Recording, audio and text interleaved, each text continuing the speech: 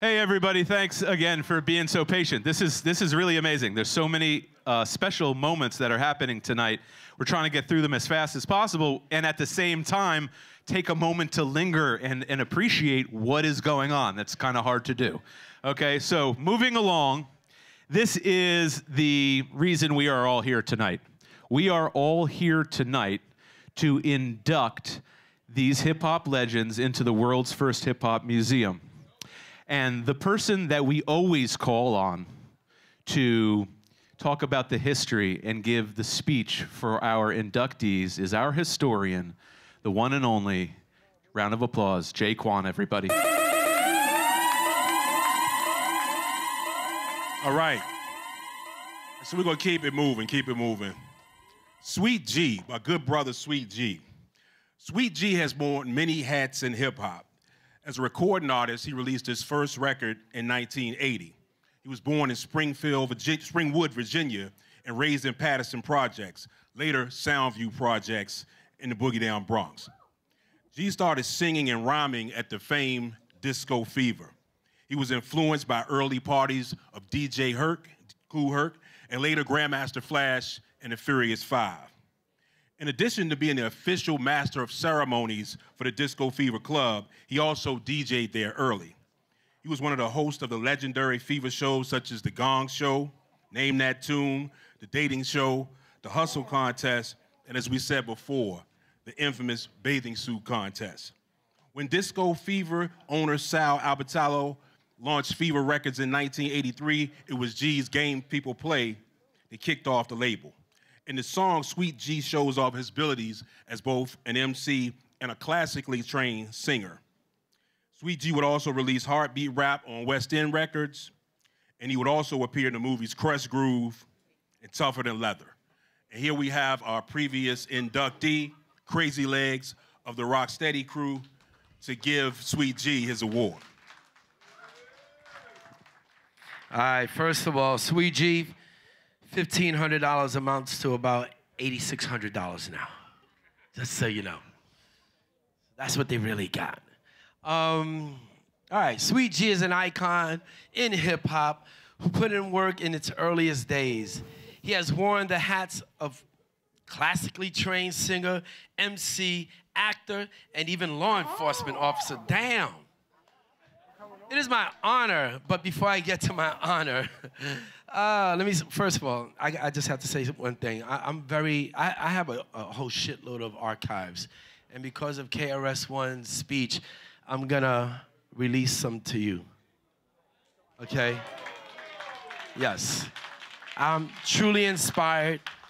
Uh, I'm a straight up hip hop geek nerd when it comes down to the history of it. I'm not perfect, but I try. Um, Sweet G, uh, if that was like the first gentleman of hip hop, can I just can we just dub him the first gentleman of hip hop? He like he's that dude. I was so intimidated by him. I've come across him so many times in my life, but because uh, uh of this certain aura of greatness and authority that you've had, I've never had a real conversation with you until today. And, and, you know, sometimes they say, you know, don't meet your heroes. And I'm so glad to have really had a conversation with you today because it, it was a true blessing to me. I, I, really appreciate you and thank you for your kindness and, and, and just being that person who, who exemplifies what we can strive to be when we come out of the hood because it's very difficult. There's a lot of dysfunctionalities with all of us who come from the hood, and you're a perfect example of what we can strive to be. So I appreciate you. Thank you. So, all right. oh, yeah, I'm throwing a festival August 31st at the Hinchliffe Stadium. Hey, I'm going to tell you right now. I- will tell you later because it's, it ain't about me. Uh, so, yes, it is my honor to induct the legendary Sweet G into the National Hall of Fame. Ladies and gentlemen, give this brother a big round of applause.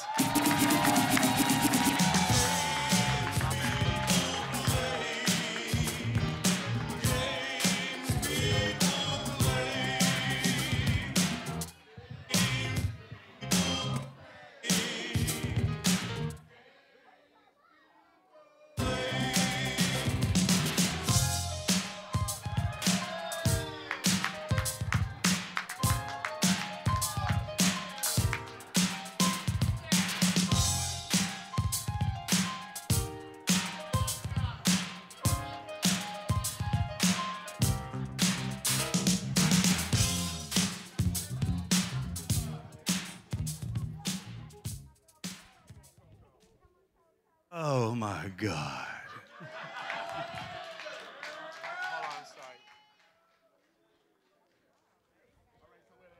First of all, I'd like to thank God, who is the leader of my life.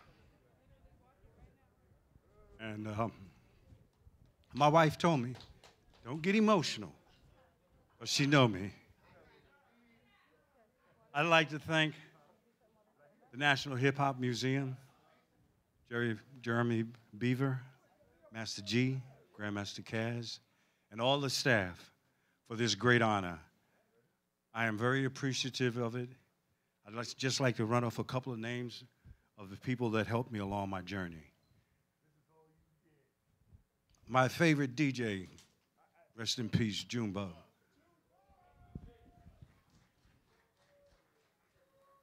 My other DJ that was always there whenever I need him, Disco B. I'd like to definitely thank my family, my wife of 37 years, my daughter who's up there filming, uh, my son, and my grandson. I'd like to thank each and every one of people that helped me along my way to help me get to this point. Like I said, I'm going on 72 years. I don't know how long I'm going to be left around here. But um, this has been one of the greatest moments in my life. I do, other than getting married and having children, this ranks right up there. I am so thankful for each and every one of you. And thank you. And uh, I'm going to keep it short and sweet, but I'd just like to say, never would have made it.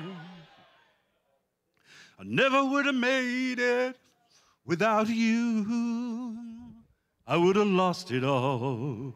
But now I see what you've done for me. I'm stronger, I'm wiser, oh, so much wiser. When I look back over my life, never would have made it. Thank you all. Appreciate it. Clap your hands, stomp your feet. Come on, girl, feel my heartbeat. Clap your hands, stomp your feet. Come on, girl, feel my heartbeat.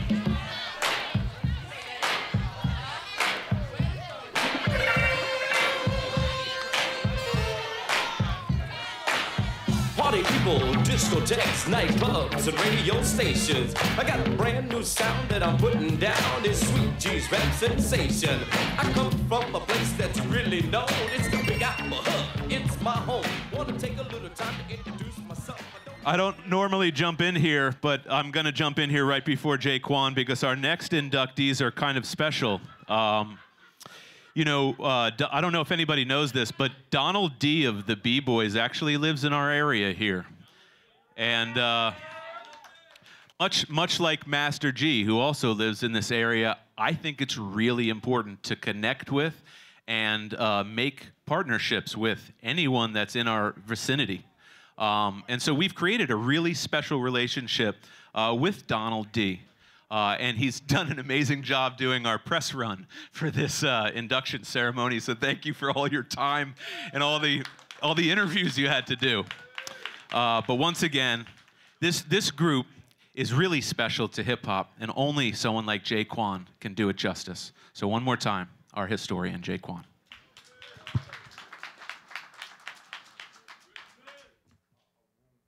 All right, the B Boys. The B Boys are Donald D, Brother B, and DJ Chuck Chillout. The B Boys released a string of records on Vincent Davis's Vintertainment Records that will become pivotal not only for their dopeness, but for their sample potential. 1983's Rock the House was an anthem for the B Boys, but was later sampled from everyone from Lisa Lisa and Cult Jam to the Beastie Boys, even Samantha Fox and Kid Rock. In the same year, 2 3 Break became another anthem for the street dancers, but it was 1985's Stick Up Kids and Girls that would show the tempo, the slow tempo and slow down uh, beat that was the versatility of the group. Chuck Chillout made his name as a DJ on New York's 98.7 Kiss, creating a legacy that would not only go down in New York radio history, but also reverberate around the world. We know those tapes have traveled all throughout the world. That's right. In addition to the scratches on the B-Boys output, Chuck provided scratches on Hip Hop on Wax Volume 1 um, and 2-3 Break under the name DJ Born Supreme Allah. And he also released a project with Kool Chip in the late 1980s. Chuck was al- also held it down on WBLS, where he still hosts the show. After meeting Ice T in 1985, Donald D joined his rhyme syndicate and appeared on the 1988 album Power with the classic record cover that, that all the brothers remember, of course. on a, uh, and on a song called The Syndicate, Donald also made an appearance on the, uh, comp- the compilation album Coming Through. Name of the Game was the name of the song. Donald D released his debut solo album, Notorious, in, 19, in 1989 and Let the Horns Blow in 1992. In addition to working with Ice T, he's worked with Everlast, N'Dea Davenport, the brand new of the brand new heavies, Chuck D, and Kurtis Blow. It is my honor to give it over to DJ Doo Wop to induct the B-Boys. I'm not reading that shit. listen, listen. As a DJ, right, DC? DC, we got Philly. Where Cash Money at? God damn, I see Cash Money in here. A lot of DJs in here. We remember that white label with the red V on it, and we remember because every time we pulled it up, is when we doing parties, it's gonna stay up because you had Joeski Love, Keith Sweat, and In Touch, right? But all that was found, you know, the foundation of all that before that, the first, y'all was the first, right? Vintertainment. Donald D, Brother B, Chuck Chill Out. You know what I mean? They they spread they spread that culture around the globe for us and they made it possible. I salute y'all. DC, we welcome. Well, we live here now, right? We live here. It's all good. Well, anyway, I'm honored, we're honored to induct Donald D and the B-Boys to the National Hip Hop Museum. Give it up, y'all. Rock the house, y'all.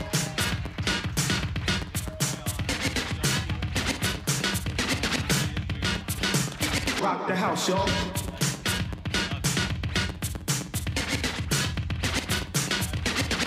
Rock, rock, rock, rock the house, y'all.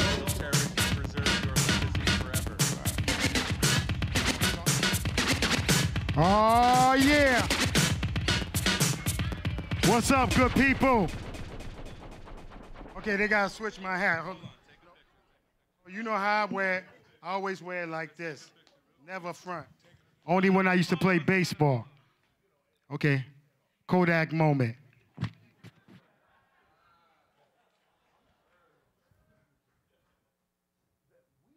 Yes, yes, y'all. To the beat, y'all, and you don't stop. See, that's my history. Many y'all may not know my history because y'all may know of me from the B-Boys, Rhyme Syndicate. No, no, no, no, no, no. My history go back to a group called the Asalam Brothers.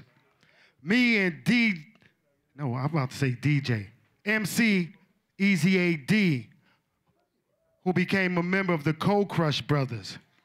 Me and my brother Easy AD tried out for a group called The Funk Machine, DJ Afrika Islam, Jazzy Jay. And they really didn't like my brother, but then when we tried out, I said, hey, let's go. And I always said, if I were to change history, but Easy AD told me, yo, D, this is your time to get down with a known group. Because I used to go to Bronx River Center and watch the Soul Sonic, Lisa Lee, Glow, Pow Wow, Love Kid Hutch and them get down. He said, this is your chance to get down with a known group. So if I would have walked out that door with my man Easy AD, I probably would have became a member of the Cold Crush Brothers with my man Caz, KG, JDL. We would have been called the Cold Crush Five. But Caz used to be down with us with the Funk Machine Imperial 4. From there, it was a pivotal moment when I was at a club called the Roxy's. How many of y'all was at the Roxy's in 1983? I went up to my brother, the legendary graffiti artist, Phase 2. I said, Phase, how did you make this record called At the Roxy's?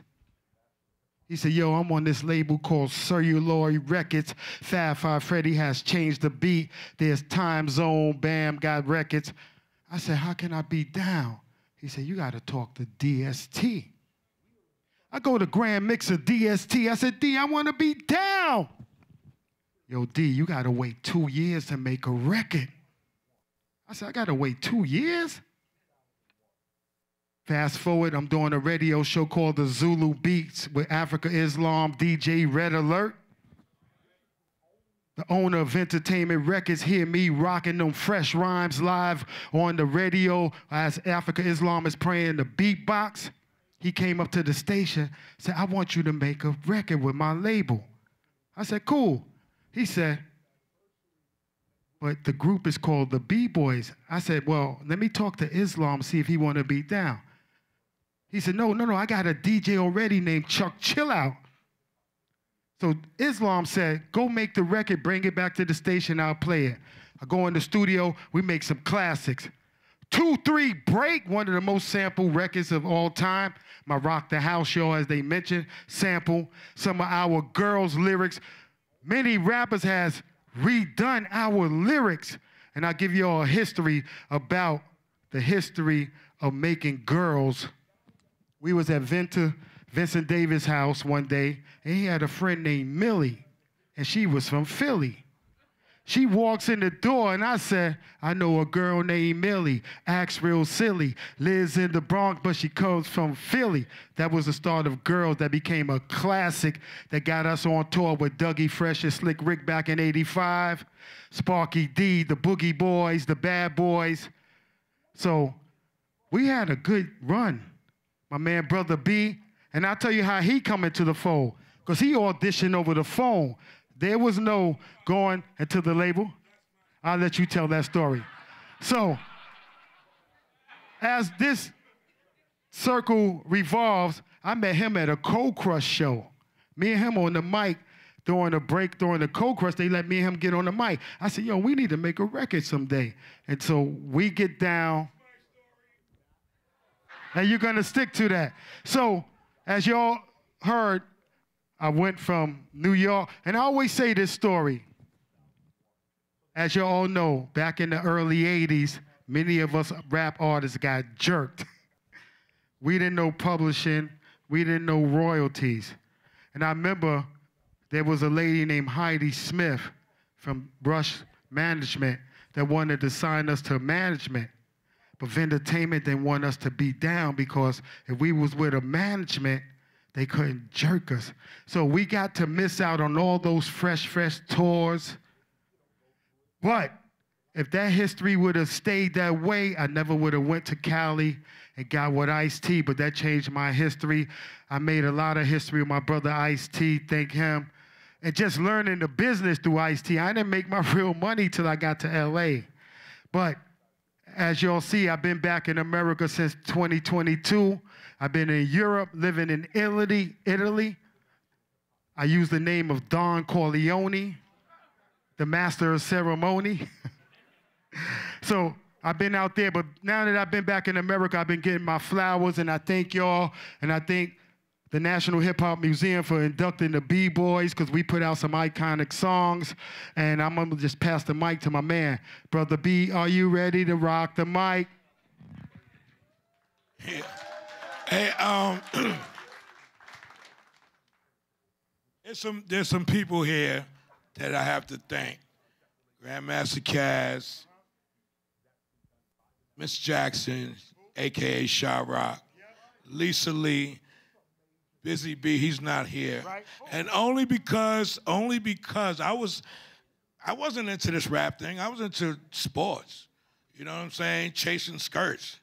So the rap thing came um, really just to say um, thank you guys for inspiring me. You know, because what y'all was doing was just brand new. I told Caz earlier today, you walk down the street with two vinyl records and walked into the park, and I'm like, what the hell is this? What's, what's going on? So I followed the crowd too, like, okay, where they going, I'm going. He goes in the, in the park, he drops the vinyls on the turntable, start cutting it up. The park goes crazy. Casanova flies, who they used to call them back then. You know what I'm saying? But I also want to thank my brother too, because he's always helping me out, trying to get me to my events and shit. Because I'm old. I'm trying to tell you, 11 surgeries and no no hips. Yeah, it's hard to get around. But I want to thank this dude right here. Seriously, Donald. If it wasn't for Donald D, I would not be on the stage right now. So short story. I'm at my job. The, my, my, my boss comes to me, pick up the phone. There's a record company on the job, and I said, hold on, wait a minute. I never told y'all that I was a rapper. So why would you come and tell me pick up the phone? Because there's a record company on, on the phone. I'm like, somebody's doing a bad joke on me right now. So the boss said, listen, pick up the phone or I'll fire you. Okay, hello, who are you? And who referred you? Donald, Donald Lamont. Okay, you got his first and last name right, so I know this is real now. So I got started feeling a little anxiety, and I put the phone down. I'm like, I'm not, I'm not understanding this. So he said, "Listen, sir, I need you to come down to the record company, and I need you to audition. I can't leave my job. Just got my job. You know what I mean? I Haven't even got my first check." So he said, "Well, I'll tell you what. If your boss lets you do it over the phone, that'll be fine." So I did that. He said, "Yo, I want to sign you guys." You know, like Donald D was getting ready to say, it all started out because the Cold Crush did a show and we did a song together, and we we we we did what we did. So the other folks on the job was like, wait a minute, what did he just do? Another guy said, you know, they they they they doing this thing with music, you know, the words sound like Sally and Sally sound like, you know, Bally. It, it, it, this is what they doing, you know. So I said, okay. I said, okay. Am I getting ready to make a record right now with Donald D? And this is why today I'm here. And I'll thank everybody for just having me here, the museum for having me here. But I want to leave you with this right here. See, I know a girl named Millie. She acts real silly. Lives in the Bronx, but she comes from Philly. It's no secret she smokes illy, acting all wild like a dumb hillbilly. But there was Judy, she had a nice booty. Homeboys say she's a real fly cutie. I had to do my duty to pull that cutie. She was stuck like glue to our main man Rudy. Now there is Vicky. I gave her the hickey, but in the other room was her boyfriend, Ricky. Vicky was picky on the presence of Ricky. Told me that I had to make it a quickie, but we was busted. Her mother was disgusted. Hit Vicky in the head with a jar of mustard. Vicky was in anger. She wanted to hang her, but all I wanted to do was. Girls, thank y'all, hip hop.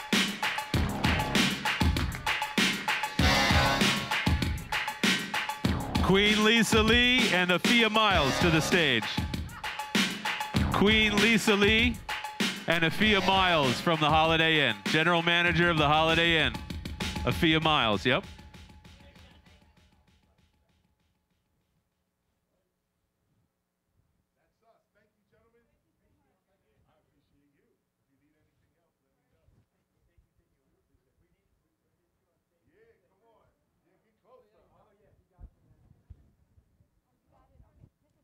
Right, the Zulu Queen, Lisa Lee.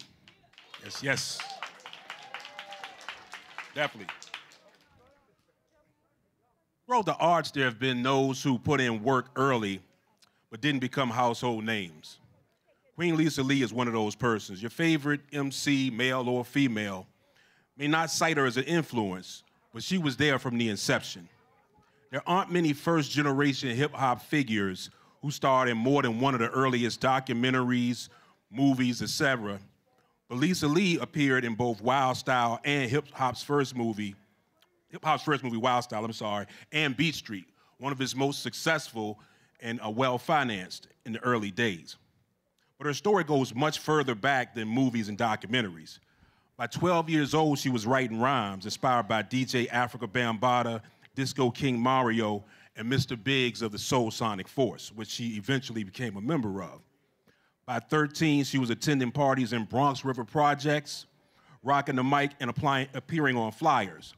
Lisa was a member of the Zulu Queens, as well as the Soul Sonic Force, and later the Cosmic Force. The Cosmic Force released Zulu Nation Throwdown on Paul Winley Records in 1980, and she appeared in the infamous basketball and hotel scenes on the movie Wild Style. And if you check out the extended, uncut, you'll see a whole Lisa Lee uh, vignette in there that didn't, didn't make the cut of the movie on the special edition uh, DVD. In 84, she appeared with Sha Rock, Debbie D, as Us Girls performing in Beat Street. She also appeared on the movie soundtrack. In 88, she released I'm a Pioneer with B Fats on the Rooftop compilation. And I want to bring up Fia Miles give the award and induct Queen Lisa Lee.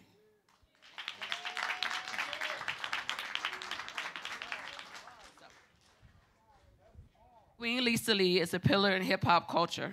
Her early work in laying the ground floor of hip hop benefited generations of both female and male MCs.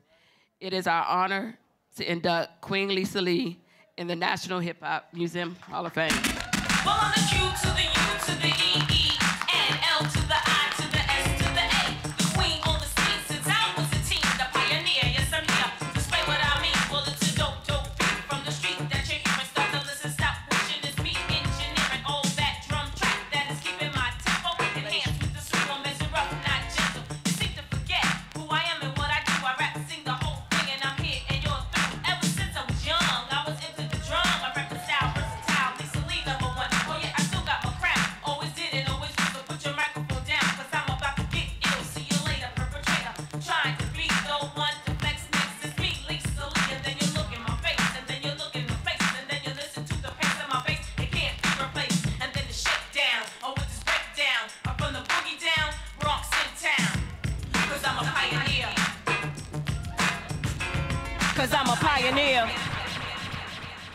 Okay, so here we are at the Hip Hop Museum.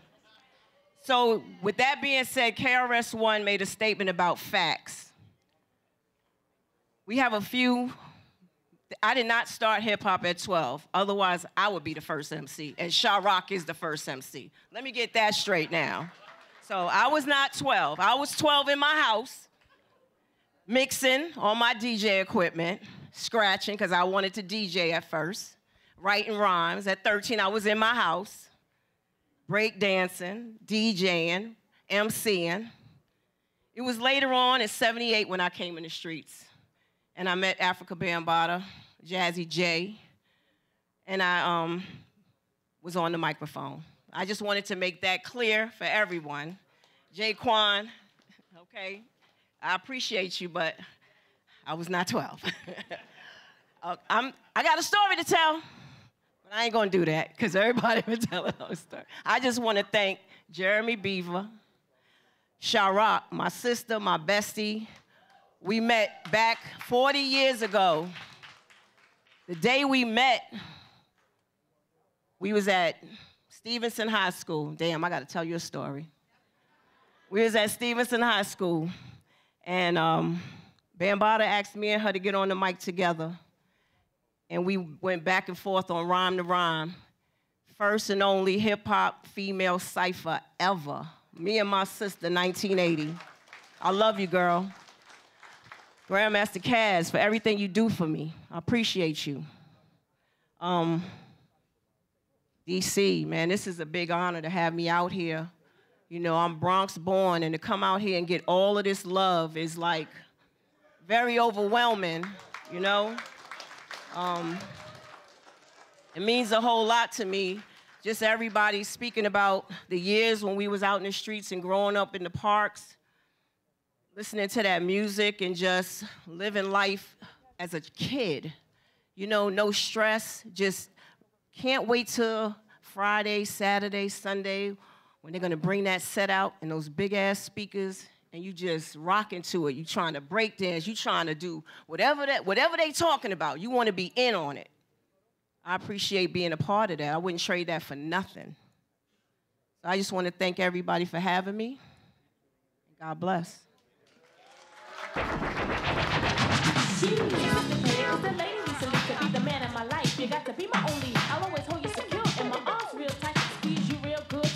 to to share you and you the type of that you never been through. And if you dig where we're coming from, say yeah. And if you wanna rock this party tonight, say yeah. Us, us, us. Us, us, us, us. Us, girls. And boogie too. All right, keeping it moving. For this one, I'm gonna do a little different because uh, DMC of Run DMC actually has some words about our next inductee, Hurricane, and uh, Mike D of the Beastie Boys as well. So I'm gonna read what they say about the great DJ Hurricane. And this is this is DMC's words. Before he became a DJ, Hurricane was an MC, MC Hurricane for me. Before all the hip hop records, Hurricane was on a lot of tapes going around Queens. Davey DMX was the DJ and Hurricane was the MC. So Hurricane is a pioneer, leader, and originator of our culture. Him and Davey D were dope, beats and rhymes and echo chambers. It was Jam Master Jay and his style that me and Run molded our style off of. Matter of fact, it was Hurricane's velour that I wore to perform at the Funhouse when we recorded Here We Go, because I didn't own one. The leather blazers all came from Kane and Jam Master Jay. Hurricane is hip hop.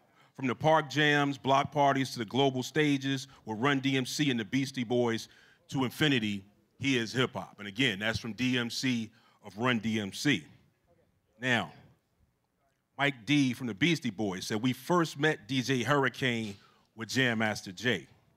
Hurricane was truly on the front lines of so much pioneering hip hop working alongside of Run DMC, Beastie Boys, Davey DMX, and others. Kane knew firsthand what was cool in hip hop before anybody else knew what was cool. And again, that's Mike D from the Beastie Boys. I want to bring up DC's own DJ Kool to give the award to Hurricane. Cool. My brother. Let me clip my throat. Washington, D.C., what up? Legendary DJ Kool, Southeast Washington, D.C. I'm gonna keep this real quick. I like this guy right here. I've always liked Hurricane, man. We never got a chance to hang out or nothing like that, but always seen him in passing. You know what I mean? And just from one DJ to another, man, respect, respect, respect. So let me let me kind of get uh, to the script here. Hurricane has contributed to some of hip hop's most important and influential moments. His work, his work in hip hop's most dynamic eras has influenced a generation of hip hoppers. It is our honor to induct DJ Hurricane into the National Hip Hop Museum. Somebody make some noise in this joint, man!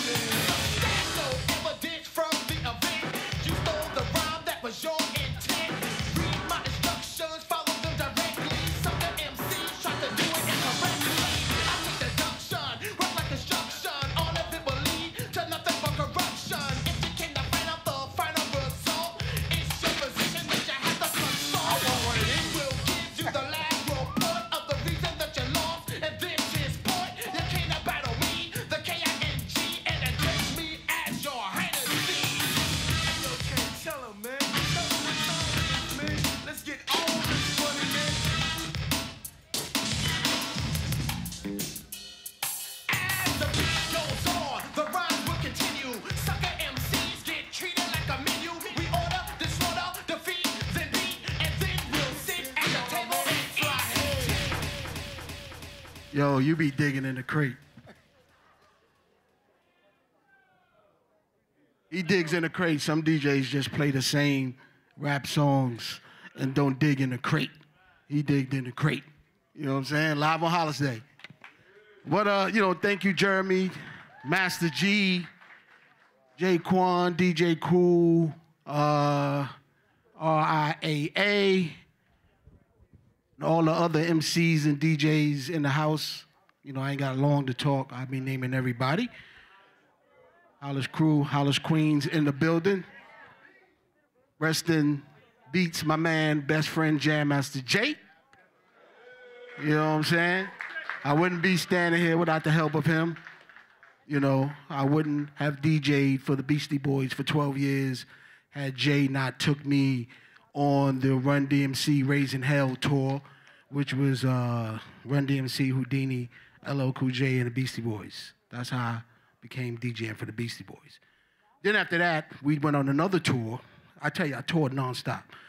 It was Davy D, Beastie Boys, and Run DMC, and we went around the world. And I was performing with all three acts. I was Davy's MC. Also, you know, we was doing the cipher routine every day. And then I'd get on stage and DJ for the Beastie Boys, which was challenging because those guys was jumping all over the place and the needle kept jumping. They was throwing beers.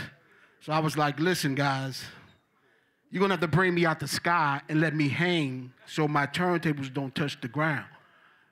So we did that. I came out the sky and I hung so they was able to jump around and get crazy. You know what I'm saying? Great idea, right? So that shit worked. And you know, working with the Beasties, you know, was a blessing. God definitely put his hands on me. I was the first guy to perform hip hop in Jerusalem, which is amazing. And the only reason why I got to do that because I was with the Beastie Boys and I had my own album. So I used to rap my album before I opened up with them on the DJ skills. So I was getting two checks. Fuck it. Shout out to everybody. My beautiful wife is here, Dawn. 34 years she's been down with me through all this crazy hip hop, all this crazy hip hop shit. You know, coming from Queens wasn't easy. You know, the Bronx guys didn't really open the door up and say, come in. It was just like, Queens, y'all niggas from Queens, what? You know what I'm saying? But we showed so much love, they had to show love back. You know what I'm saying? Because we love Cold Crush Brothers, Funky Four Plus One More, Furious. You know what I'm saying? Again, I say, for me, hip hop started when I heard Flash Scratch and the Furious Four do routines. Now, if you DJing and you can't scratch, you know, you can't keep the beat going for the rapper, I don't know what we doing. That's my opinion. You know what I'm saying? I'm I ain't I ain't, I ain't saying shit. But you know, everybody used to always say, "Yo, Hurricane kind of look like DMC." I was like, okay. No, Run DMC used to dress like Hurricane. Let's just, those are my brothers, and DMC will tell you that's how me and Jam Master Jay used to dress when we went to school. We had the black hats, the gold chain, the black jacket. That was some holler shit. You know what I'm saying? So, you know, I, I appreciate the love. You know, it's a lot of us that ain't here. Biz Markie, we miss Biz. We miss Jay. We miss Guru. We miss Big Pun. We miss ODB. There's so many that ain't here that I wish was here that I had history with. But, you know, so I'm still standing here and I'm happy to have this. God definitely blessed me. Big shout out to Kurtis Blow. Let me tell you something. Kurtis Blow deserves more props than than he ever gets. You know what I'm saying? He was the first superstar, first gold. So I always give Kurtis his props. And he was there when we was doing solo sound in the 70s. Not a lot of people that was from other boroughs was coming to Queens, but Kurtis was in Queens rocking. 77, 78, 79. I still got flyers. I got flyers. Love you, Kurt. But I'm gonna get up out of here because there's others coming. Like I said, I could talk all night. I, I'm wondering what you're gonna play next. I'm like, he gonna make me start rapping in a minute. Appreciate the love. My family's here, my brother, my nieces, my son. And um, shout out to Geechee over there. I see you. Queens in the building, Queens get the money. Now what? Yeah, dynamite. South.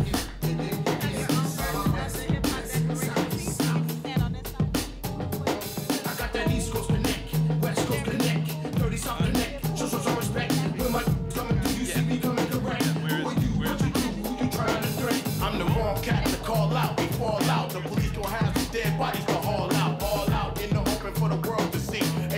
B I D VIP. It's small time, three on three. Cause you can't ball accurately. Tackle the beat, stop it down, slap it with heat. Misbehave, we blaze to make the act this age. I'm trying to write the phrase to page. You keep it with game dice and all type of whackness. Preach what you practice. You will separate the real from the actors. A&R's and T-shirts my tactics. Blackness surround your sight sound. Exhibit hit you and you hit the ground. My tips ain't never You guys, when DJ Kool was inducted in 2019, we didn't have enough money for jackets. So now he texted me and he was like, "Hey, uh, so uh, so could I get a jacket now? Is it is it cool if I get a jacket now?" All right, this joint's called What's Your Area Code? We're recording live tonight right here in Raleigh, North Carolina. I'm ready whenever you're ready, Twain. Let's go.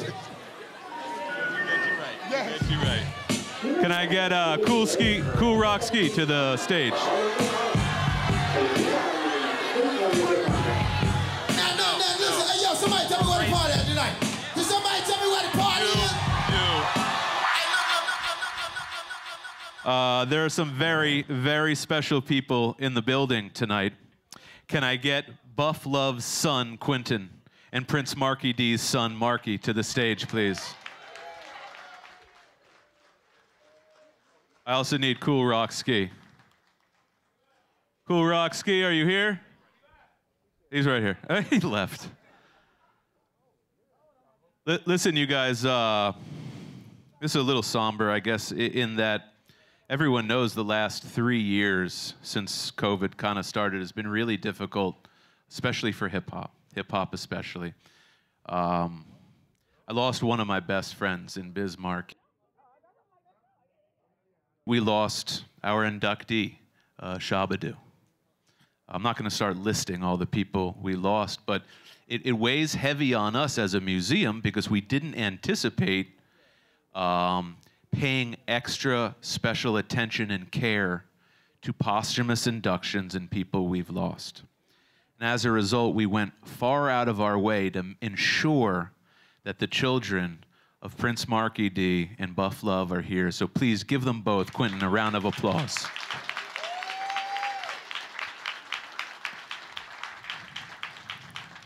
Without further ado, here's our historian, Jay Quan.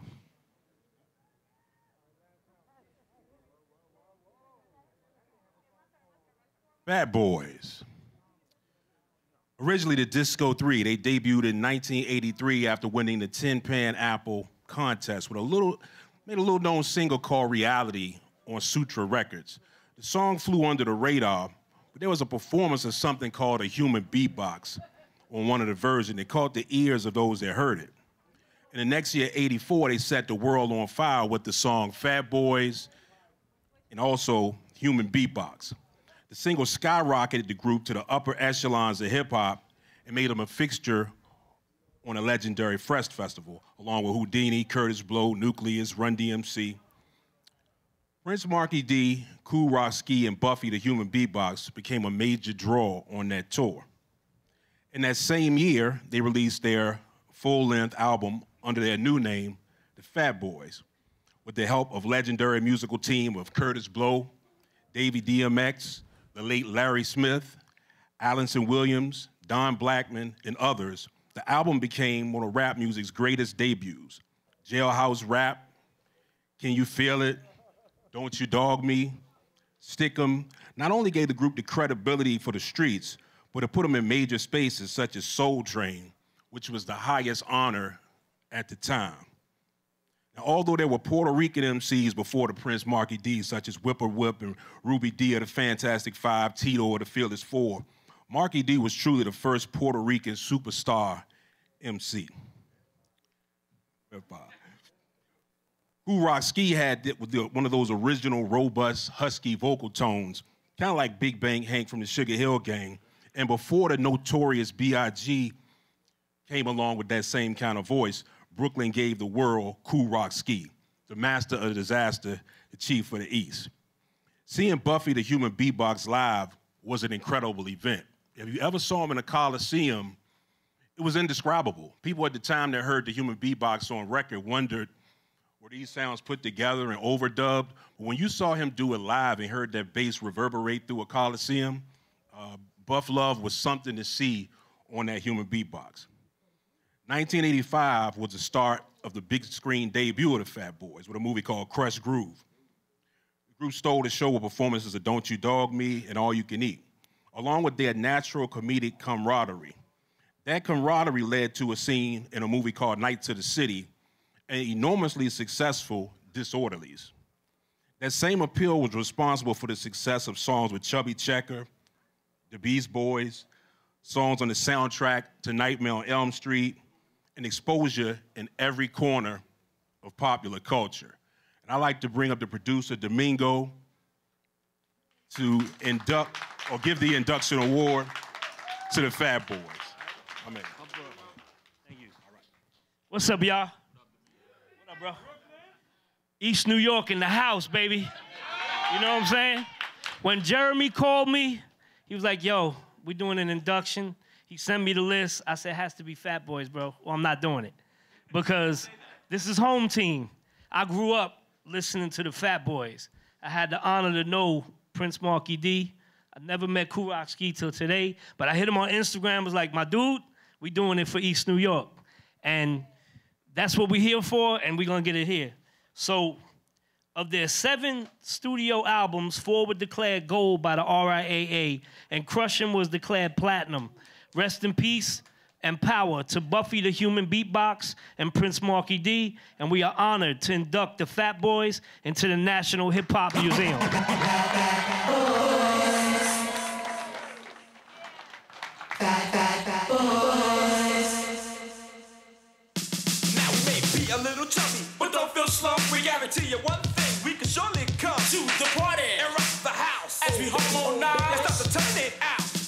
fresh move and take it from me. Listen to the fifth sides of the disco three.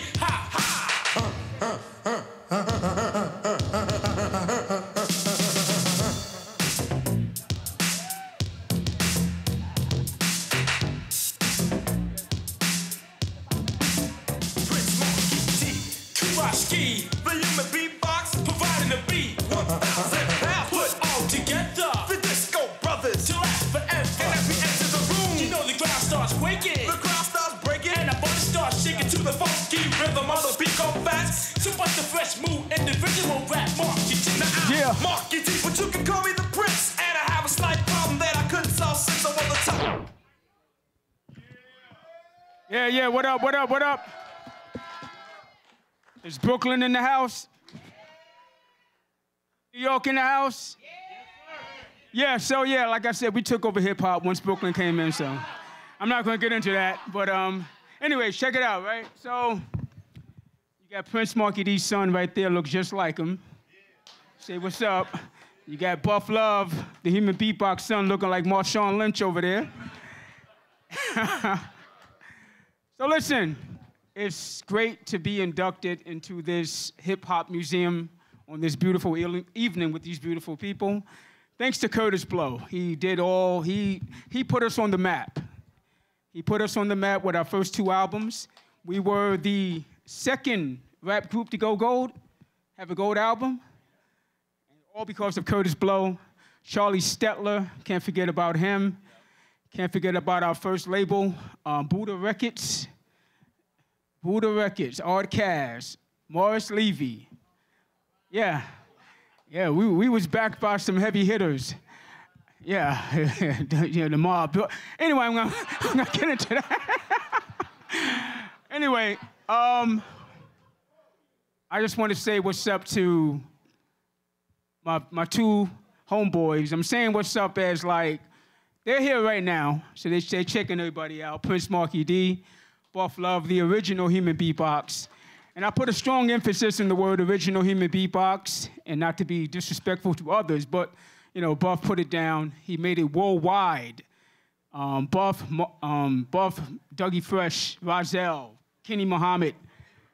Yeah, they all opened their own lane. Biz Markie opened their own lane for this thing called hip hop and put their own selves in that culture as far as beatboxing.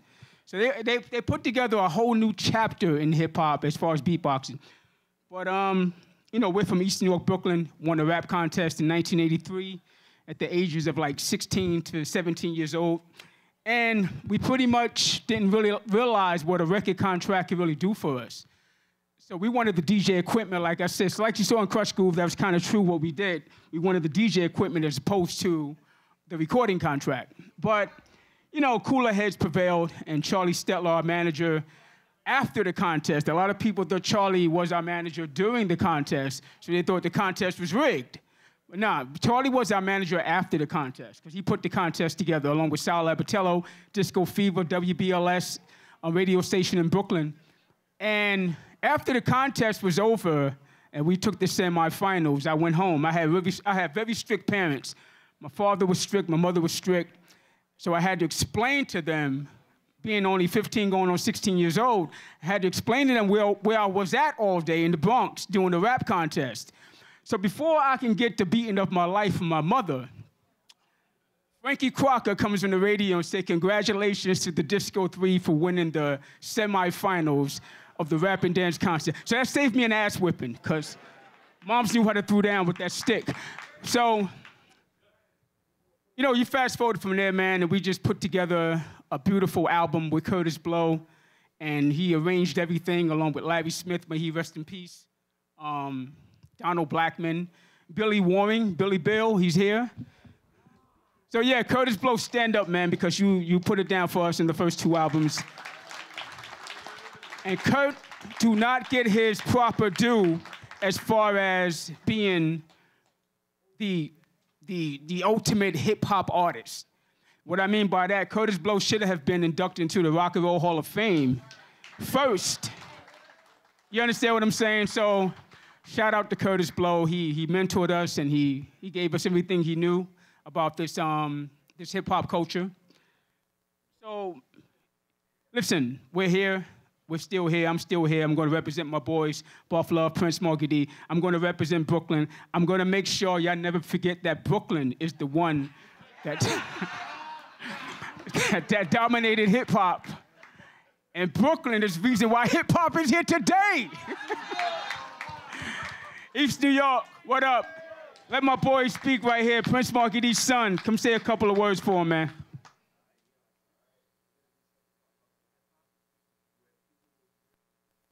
I ain't got a lot to say really, but um, shout out to everyone put this amazing event together. And as this culture continues, legends never die.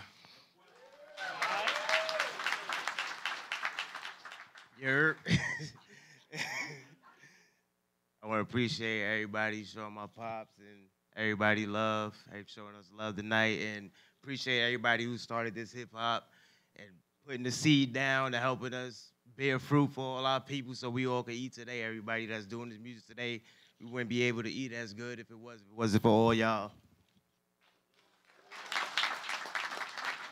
One, two in the place to be, as In you can place. see, most definitely. Definitely. It's me, the chief rocker, Kool Rock Ski, Kool Rock and to my side, Prince of Rap, the Prince Markie Dee. Markie Dee. And on the beatbox mouth this time, we call him DJ Dr. Night. Dr. I'm better known as the original, The original. human beatbox. The original. As we get funky fresh, nevertheless, little something like Vince. Like One Vince. for the midway. We're actually, we're actually going to let Jay Quan hand it off to. Caz going to do it? Okay, great. I just wanted to quickly say thank you to three organizations that helped us be here tonight. Uh, that is Events DC, OCT, FME, the Office of Cable TV Film Media, and the Holiday Inn. okay? So, thank you guys so much. Uh, Grandmaster Caz, the chairman of our board, is going to read the induction. Uh, well, it's actually a legacy award for MC Sha Rock, the world's first female MC. And then he'll hand it off to you. Hand it off to the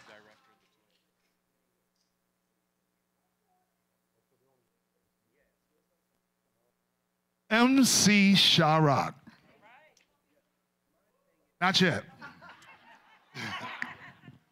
MC Sha Rock is the hip hop culture's first female MC, starting her hip hop journey as a B girl who attended Kool Herc parties.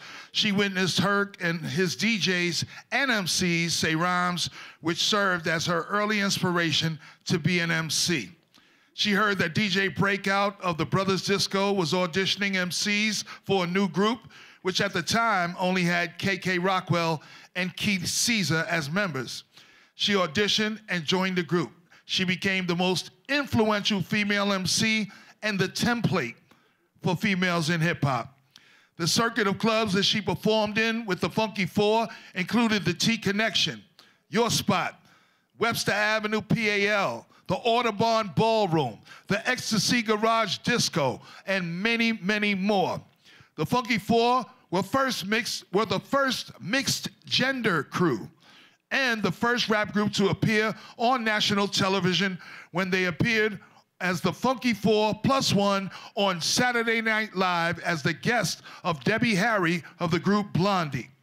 She says that Debbie had seen other crews perform, but she was impressed with the Funky Four plus one, and they were because they were young and because they contained a young lady, which other crews didn't have. Sha Rock's influence became evident. There was even MCs like Little Sha Rock paying homage. The Funky Four plus one were pivotal in bringing hip hop from the Bronx to the downtown clubs like the Mud Club and the Kitchen. Funk, punk rockers like the Beastie Boys cite the Funky Four as their influence and their introduction to hip hop. The hip hop flyer is said to be the receipt for the hip hop pioneer. She has been featured on over 500 flyers, including flyers with the Funky Four, the Funky Four plus one more, and as special invited guests. There, oh, those booking her as a solo act, and flyers promoting the Brothers Disco parties. Among her accolades are the first woman to receive the key to the Bronx. Her annual Sha Rock Day is celebrated annually on the first Saturday of June across New York's five boroughs. She received the honorary award from the City Council of New York for her achievement in, as a pioneering female in hip hop. The Women of Distinction Award by the Hip Hop Culture Center in Harlem, and many, many more. She has been the subject of several books written by noted authors and historians detailing her contributions to the hip hop culture since its embryonic stages. In 2010, Sha Rock released her autobiography titled Luminary Icon. In 2013, Sha Rock was appointed national advisor for the Cornell University Hip Hop Collection. She is a member, sorry, she is a member of Bowie State University's Department of Fine and Performing Arts as a resident hip hop historian and adjunct professor. She is the co-host of That's the Joint with Grandmaster Caz on LL Cool J's Rock the Bells Radio. Make some noise for my sister, Sha Rock.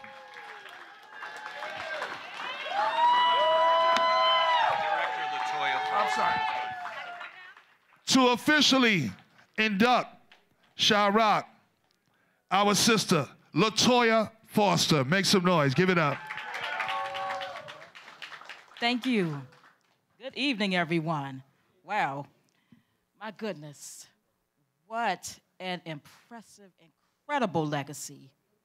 You know, we know a little something about legacies in this city, women and legacies, don't we, Dr. Gates? I think we do, don't we, Monique? Uh huh. MC Sha Rock has quite the story. The story of women who lead, the story of women who trailblaze. She is the mother of the mic.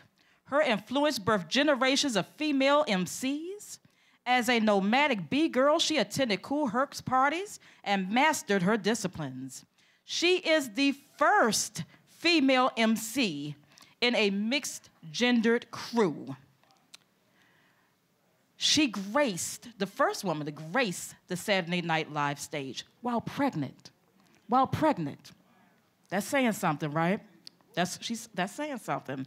We are so honored to represent and to present you with the Legacy Award to MC Sha Rock.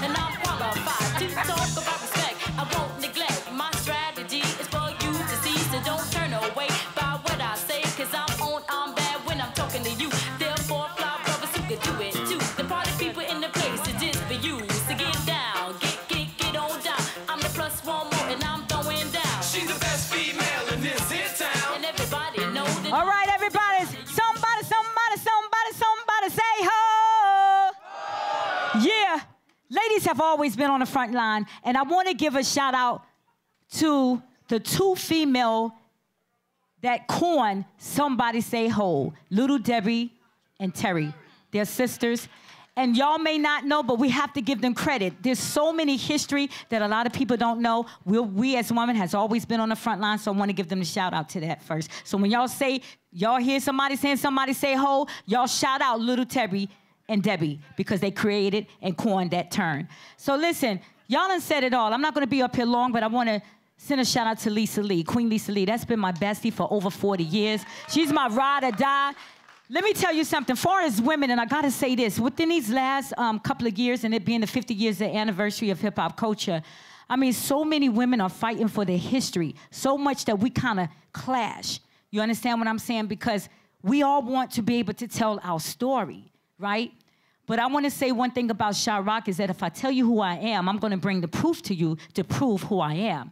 And I want to send a shout out to Roxanne Shante because in the beginning, me and Lisa knew about Roxanne Shante, right? Because she was like the next wave of the first female to really just take it on to another level, to, you know, as far as being an MC or whatever. But I never ran in Roxanne Shante's circle, you know? But when these last couple of years, when we do events together, that woman has been so kind. She has been so like straightforward, has been honest. And even though I am older than her, she has been giving me advice to know how to move within this industry because I've never been a part of this industry. So shout out to Roxanne Shante and to be on the stage with Queen Lisa Lee and Roxanne Shante. I love you. I love you. And listen, rock on because you made it happen for the women that came behind me, Lisa Lee, and you took it to a next level. So I love y'all. And I love everybody that supports hip hop to the fullest. Thank you. Sha Rock is the woman with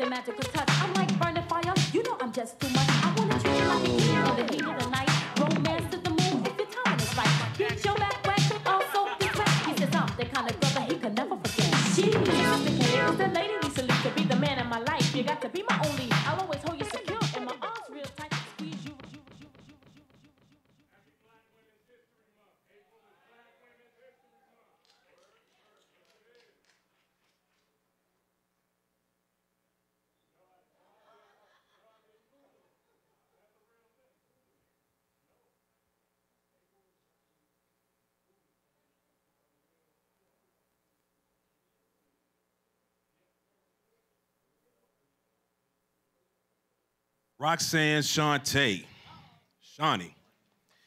Roxanne not only set it off for the second generation of female MCs, she also pioneered the diss record and the answer record, literally birthing MCs, crews, and record labels during the infamous Roxanne Wars that she's just about single handedly responsible for, with Roxanne's Revenge. One of the elements of Shante's genius is that she's capitalized off an opportunity before anyone else. This led to her bogarting her way into the industry and making an independent Philadelphia record label called Pop Art that was once known for R&B relevant to hip hop. When UTFO dropped their juggernaut single Roxanne Roxanne in 1984, the producers of the song Full Force had plans to make their own record with their own Roxanne. Shante beat them to their own punch to the point where they had to release an answer record and call their Roxanne the real Roxanne. Because Shante had already set in motion an answer record that would cause literally more than two dozen responses. Roxanne's baby, Roxanne's a man, Roxanne's doctor, and even the parents of Roxanne. But Roxanne was no fly by night artist like most of these people who answered UTFO's diss. Her immediate follow up, songs such as Queen of Rocks, Bite This, Runaway, established pop art records in hip hop and became an early recording home for Juice Crew members like Marley Marl, her producer, and MC Craig G. And speaking of the Juice Crew, it was Shante who used her touring success as an early opportunity to introduce MC Shan, Biz Markie, and others to the world. Later hits such as Have a Nice Day, Loosey's Rap with Rick James, the Def Fresh crew with the late Biz Markie, rest in peace, Biz Markie, Gone Girl, Payback, cemented her legacy in the 80s, while hits like Whack It, She's a Skeezer, and Big Mama served as a 90s reminder that she's a battle MC who was not afraid to call out names. And she was always off the top of the head MC before it became popular. I like to bring up Angie Gates to give the award and induct Roxanne Shante. What's up, DC? Come on, DC. You can do better than that. What's up, DC? All right, Director Foster, Monique, Dania, Wendy. I mean, we in DC, but clearly New York is taking over tonight, huh? Ladies and gentlemen, pioneers and icons of hip hop, I stand before you tonight brimming with pride to induct a true legend, Roxanne Shante. Give us some more claps. Come on now. For those who remember the firestorm of mid 80s, the name Roxanne Shante really needs no introduction. But for those coming up in the game, let me tell you a story. A story of a young woman from Queensbridge who, with a single mic, drop of a track, rewrote the rules. Roxanne was a woman taking the mic, owning her voice, and shutting down stereotypes in a genre dominated by men. Her wit, her flow, forever changed the landscape of hip hop. Roxanne Shante's influence stretches far beyond the mic. She's a role model, an inspiration to female rappers who came after her. Quite frankly, an inspiration to me. She showed them the power of their voice, the strength in their rhymes. Tonight, we celebrate not just a phenomenal artist, but a trailblazer and most definitely a legend. Now, that's how y'all gonna clap for a legend. Everybody, stand to your feet. Roxanne Shante, welcome to the National Hip Hop Museum. Your brilliance has taken over. It's your day, baby. Please bow. This is for you. Uh, let me tell you and explain them all to you. I met this dude with the name of. I didn't even walk away. I didn't give him. But then he got real mad and he got a little tired. If he worked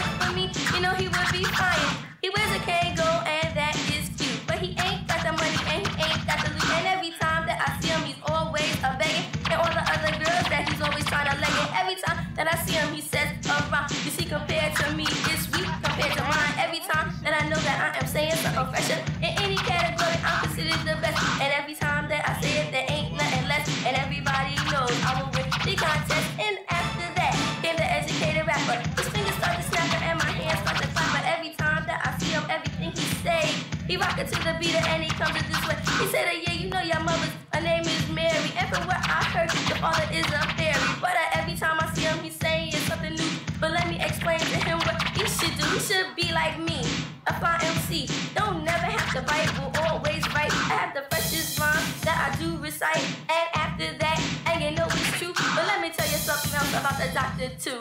He ain't really cute and he ain't great. He don't even know how to op. Okay. Um, first things first, I just would like to say thank you to the National Hip Hop Museum for even considering me, for inducting me, and for allowing me to participate and be here. Let me just tell you, the only reason why I'm taking the jacket off is because my other jacket under here is got me kind of, um, yeah, I was gonna be messed up. Um, as an MC, the first thing I need to do, as every MC does and should and will always do if you're a true MC, I need to bring my DJ up here. Give a round of applause to Cutmaster Cool V. Now, you may know him as Biz Markie's DJ first. And when Biz passed away, he left me his greatest possession, which is his DJ. So now, Cutmaster Cool V, when I look over my shoulder, that's who's there for me. That's who will stand beside me wherever I go and whatever I do. When I'm on the radio making y'all laugh all day, that's Cool V's laughter in the background that you hear. And I say that as an MC because what good is an MC without their DJ? What good is hip hop without the DJ? Remember, all of this started with the what? Please believe it. Okay, now we're gonna get back to me, brother dear. I love everyone. I do. I do. You know, and a lot of times people have always gotten the wrong idea about Roxanne Shante. Roxanne Shante is angry. Roxanne Shante is mean. Roxanne Shante is gonna cuss a lot. But there's some things about Roxanne Shante that maybe you didn't know. Roxanne Shante went through foster care. Roxanne Shante used to be a booster. Roxanne Shante was a teen mom. Roxanne Shante was out there working, hustling, doing all types of different things. The fact is, Roxanne Shante is human. And sometimes we forget that our entertainers are human. We go through things, people experience certain things. So when we receive honors like this, it touches the humanity in us and makes us smile. That's why we're here now. This room, this room is not filled with opportunity. This room is filled with love. This room is filled with respect. And we grace this stage right now because this is a huge honor. And to hear Sha Rock get up here and say what she said only allows me to know that my love for hip hop will never, ever die. And don't let yours either. Roxanne Shante, thank you so much for having me up here. so. It's unbelievable. I am so fly. If if I we look could. in the mirror. Okay, that'd be great. Uh, Roxanne, Shaw. Yeah, Roxanne, Shaw, and Lisa. Queen, Queen Lisa Lee, are you still around? Can we have the ladies of hip hop please stand on stage for the queens of hip hop? Come on stage, yes. Come stand on stage together. Ladies, a round of applause for the three most influential queens of hip hop.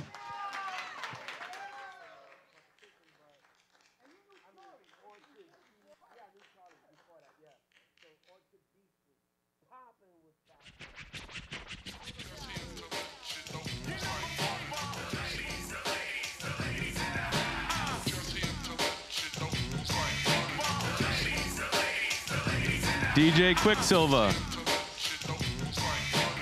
There you are. You're up next.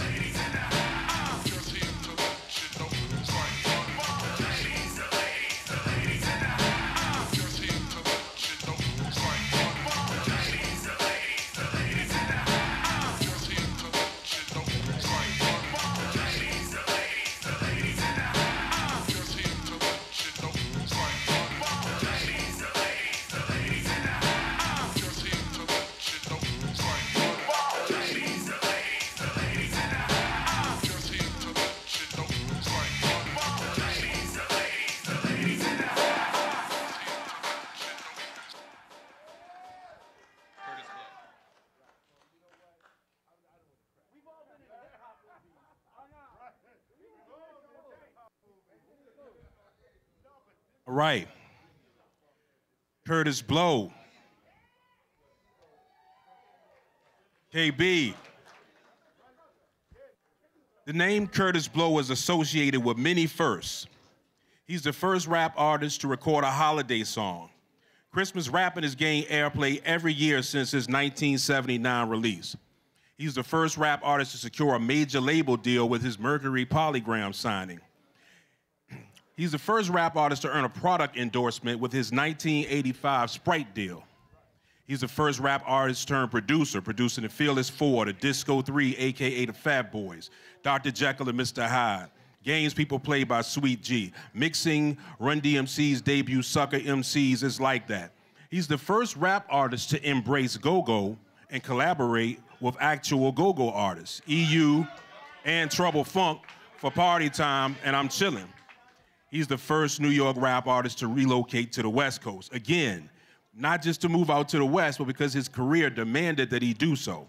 He's the first rap artist to collaborate with R&B and rock acts, with Renee and Angela in 1985 for Save Your Love, and in the next year with Bob Dylan for Street Rock. Throughout his seven studio release albums, Kurtis covers social commentary with Hard Times in 1980, when Run DMC recorded a cover version four years later of Hard Times. Party Time with EU, Nervous, America, and Tough. He got the party started with Rap and Blow, The Breaks, AJ Scratch, and I'm Chillin', and If I Rule the World. Kurtis Blow is a singer, handling vocals on songs such as Nervous, AJ is Cool, Hello Baby, and the classic Daydreaming. That's right. Kurtis's touring band was a who's who of incredible musicians, inclu- including the late Larry Smith, Davey DMX, and Rakim's brother Ron Griffin, Orange Crush. A simple view of the semi-autobiographical film Krush Groove was revealed that Kurtis was also involved in the business of hip hop early on. His hit "If I Rule the World" from that movie is the first time that an artist looped a sample in hip hop. 1985, Davey DMX and Kurtis Blow producing "If I Rule the World" and looping "Pump Me Up" by Trouble Funk. His history of hip hop goes far beyond rap records as a promoter with Russell Simmons in the early days, and also hitting that live circuit with groups like Grandmaster Flash and the Furious Five. I'd like to bring up DJ Quicksilver to present and induct Kurtis Blow. Before I say anything, I want you to understand that this is Kurtis Blow that's about to come to this stage right now. One of the first superstar MCs. And if I could say something, I would say, clap your hands, everybody, if you got what it takes. Because I'm, and I, that, I think we're ready now. Make some noise for Kurtis Blow before I say anything. Hold on, not yet, not yet. Because I gotta, I gotta read the script. But before I read the script, it's like, I've introduced a lot of people in my life, but never Kurtis Blow, a superstar MC. Like, it's because of him, all of us are here. It's because of him, all of us have had a career. It's because of him, all of our families have been eating for decades. So before I read what I have to say, I just have to say Kurtis Blow. I remember watching Krush Groove as a kid, thinking like, I, I don't know what a DJ is, but like I want to be like a part of this culture. Then when I when I saw Beat Street, it was over for me. So like movies like that inspired me. So this to come from a guy that was watching this guy on TV as a toddler to now be able to be on stage introducing him, like I'm at odds right now because this doesn't happen a lot of our lifetime. Now, with that being said, Kurtis Blow, we all know who he is. The legend. The original king of rap. The original superstar MC. He hit Hollywood, collaborated with R&B and rock acts, and secured product endorsement deals before any MC. He is hip hop's first MC turned producer. We are honored and humbled to induct the legendary Kurtis Blow into the National Hip Hop Museum. Can we stand on our feet and make some noise for Kurtis Blow, ladies and gentlemen? Oh, if you got what it takes, cause I'm Kurtis Blow and I want you to know that.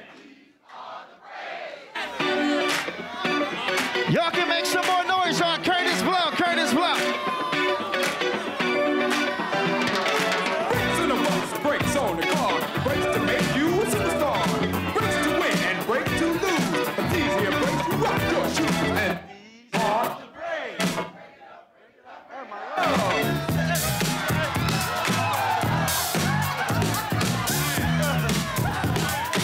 Kurtis, go Kurtis, go Kurtis, go Kurtis.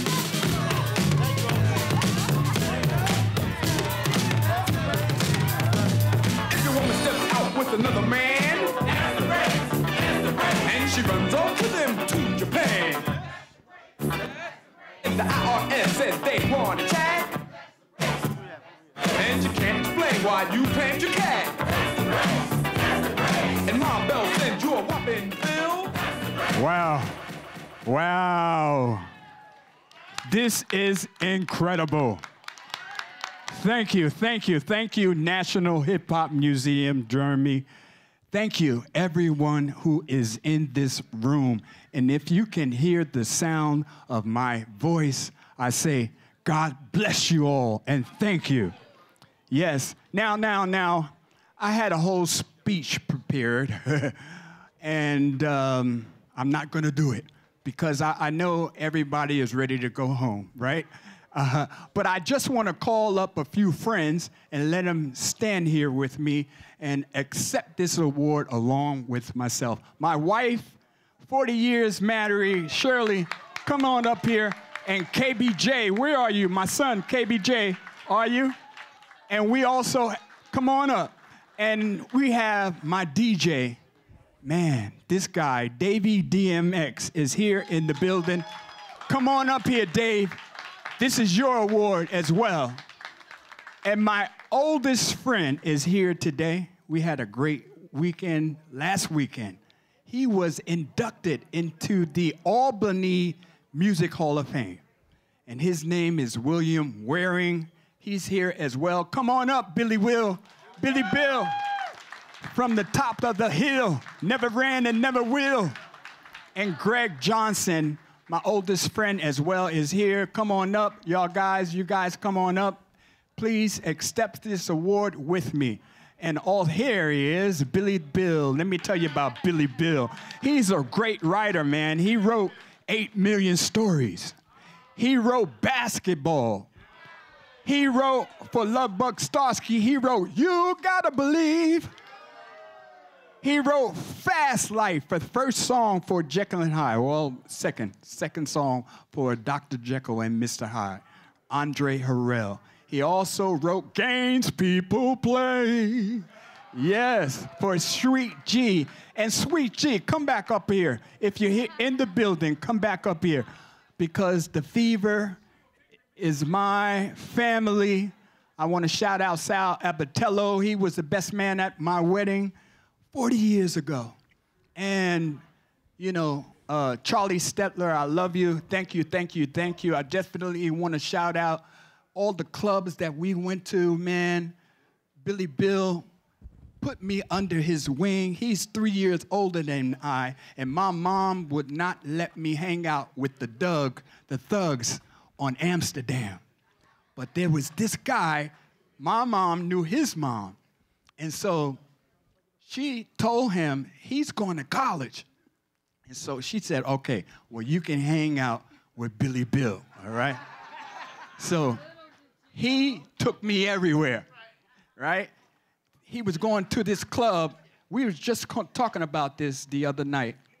Uh, the club was called, it was all the way downtown. The first time he heard continuous music, it was a club called the, the Duke's Dilemma. I don't know if you ever heard of that club, right? The Dukes. Man, and they had a sound system that was incredible. And and you talking about two turntables. They had two turntables. The first time he heard it, he came out and told me. I was too young, I couldn't go, right? And then they started partying at uh, another club on 125th Street called the Factory West. And that's where we ran into people like Charlie Kimball and Johnny Kimball, who was a community organizer, and we got jobs from them. You know, remember the summer youth programs and all that? Yes, we are a big part of that. And um, the Factory West was when they first started breakdancing, and they told me the stories. So in night, that was uh, 71. So 1972, they came and got a young 13 year old Kurtis Walker. And I had the footwork. I mean, my mom was a, a great dancer. She was my supporter throughout my life. And she always told me, man, with that brain that you have, you can do anything you want. So she inspired me. Thank you, Mom. Rest in peace. And so um, she was a great dancer too. She used to go to the Cotton Club. and check out, you know, Sammy Davis Jr. and the Nicholas brothers and Cab Calloway, right?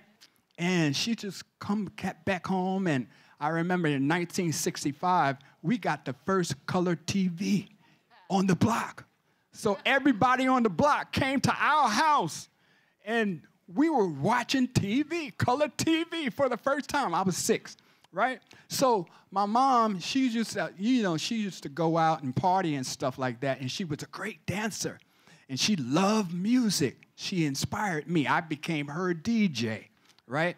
And so moms was like, people used to come out, you know, come to the house. At, with, we were the center of the block, you know, um, holidays and birthdays and on the weekends, people would come over to our house and sit up, and uh, I would just walk around the room and take a request and write down the notes and go back to the uh, uh, component set and watch that needle. I was traumatized by that needle going across the record and dropping down exactly where it needed to be to start to play the record. And that was my thing. I wanted to be a DJ, right? So I did that, you know, and I owe it a lot of that to Billy Bill because after we started hanging out, he was a, a, a b-boy, and we had a crew called the Hill Boys over there on 140th Street in Amsterdam. And I tell you, man, we used to practice on the rooftops because I tell you, back in those days, the, the block, the whole block from 140th to 141st Street was all connected. And each building, if you go up to the rooftop on 140th Street, you can go all the way to 141st Street and go down and be on the next block. And that was incredible. That's how we got away from the police a lot. Jumping out of cabs. but, you know, those were the good old days where I remember going to the east side. They took me on their, their wing, my buddy, Danny Harris, who was a guitar player, incredible musician. He uh, was part of the Orange Crush Band. And uh, man, those were some great, great days. So I remember they came and got me. Said, we need you, little Kurt. We know you got that fast footwork and you can do those acrobatics. I was doing flips and all that. And, and, and they came and got me. We need you for this battle. We're going over to the east side and battle these kids at this place called Chuck Center. And I went over there, man. That was 1973, and that changed my life. Everywhere I had to go, I had to be the center of the party, creating a circle of people around me doing my moves, right? And that was my thing. I had to be the center of attention in that circle. That cipher is still around today. Using, you know, DJs are in that cipher, you know, uh, uh, uh, MCs are in the cipher, battling, just competing, friendly competition, you know. But um, I just want to say I love you, Bill. Thank you for all the support. When I got 15 years old, I got a phony ID from 42nd Street that said I was 18 years old. So Bill took, he was 18. So I, he took me out to every club in New York City. I mean, every Friday and Saturday night, we were at Nell Gwynn's, 42nd Street, Ipanemas, Leviticus. Uh, man, you name it, we were there. And that was incredible, just to witness. Now, I want to tell you the story about us going up to the Bronx. I got 8 million stories, right? So, so, so we went up to the Bronx to this place called the Executive Playhouse. The first time I saw Kool Herc. And I, let me tell you, I was traumatized. I saw this guy. Now, now, the Executive Playhouse had a, like a little stage area on the side, but the DJ booth was really high up. You had to look up to the DJs. And I saw this guy, Coke LaRock, on the microphone. He's like, Party people, young ladies, don't hurt nobody. You know, we're going all the way to the AM, so let's rock on. And I was like, oh my gosh. And then he played this song that we heard at Chuck Center James Brown, Give It Up or Turn It Loose. On another song called Baby Huey, Huey, Listen to Me, right? Uh, the Isley Brothers and getting into something. You know, this was a, a playlist of songs that had an incredible break. And this is where we did our most incredible moves when it got to be where that break drops. So you can imagine to give it up or turn it loose has a part in the song where it breaks down to the congas. And James Brown is like, clap your hands, huh? Do do do do do. Stomp your feet, huh? Do do do do do do. Clap your hands, huh? Do do do do. Stomp your feet. In the Jungle Brothers, right? And then he would go on for about a minute, and then at the end he would call his drummer, Clyde Stubblefield, and I have nightmares about that. Every I, that's all I hear, Clyde. Clyde, and then that beat drop. Boom. That, that's your time to go down to the floor, do your famous move, do everything that you can to win that crowd over, right? And man, that was it. That was hip hop, the real true essence of hip hop to me. Clyde Stubblefield. Thank you. Yes. So, following after Bill, I went to college, CCNY, right? And I met uh, Russell Simmons there. Now, this guy was something else. And I remember seeing Russell Simmons down at the discos uh, with Pete DJ Jones. You know, he was there doing something called the Brooklyn Hustle. Have you ever heard of it? The Brooklyn Hustle was us doing the hustle like Saturday Night Fever, but with, uh, uh, let's say, a swag or a, a style uh, like, uh, it, it, it, it was a, a different style, and you knew that it was the Brooklyn Hustle because it had some real, real flavor in it. And I remember Russell Simmons. I used to stand and watch him doing the Brooklyn Hustle down at Nell Gwynn's. So when I got to college, I saw him. I was introduced to him. I said, "Man, I seen you at the clubs. You were doing the Brooklyn Hustle." He said, "Yeah, that was me. That was me." And we became friends. So we became promoters. We started promoting parties. Man, that was my, the best years of my life, standing on a 125th Street giving out flyers for a Russell Simmons Rush production flyer and a Rush production party. It's Dynamite. Are you here? Oh, come up here, Dynamite. This is my college buddy. Yes, CCNY. Hey, listen, I can attest to everything that he just said about Russell Simmons and us at City College in, in Manhattan. We had the best times of our lives doing those parties. Reggie Wells was on the radio station at City College. We had Allison Williams. She was the first singer for uh, for Def Jam. It was just a beautiful time. Kurtis, man, you are so well deserved this honor. I'm glad to come and share this with you.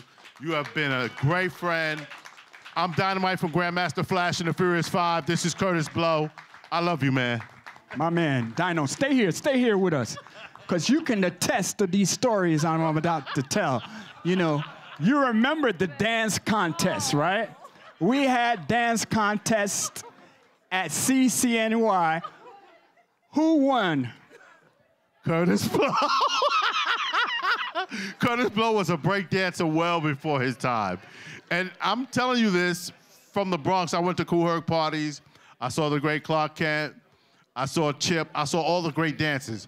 But Kurtis Blow and this young man right here, Mr. Billy Bill, they used to call you what? The puppet. Yep. the puppet. They did their things down in Harlem, and it was some of the first cats with my man Doug that came up to the Bronx and did their thing. Dancing Doug. That's exactly right. So it's just been a great life for us all, man. I love you, man. Thank you, thank you.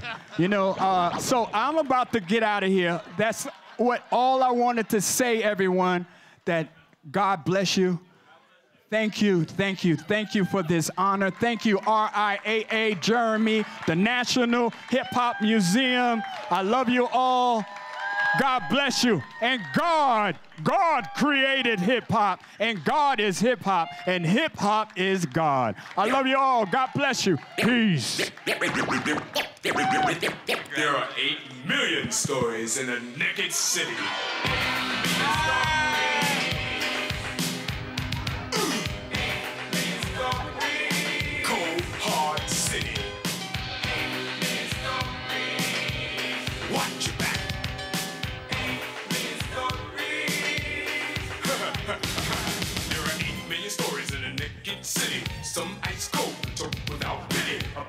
Okay, who's ready for KRS-One to perform?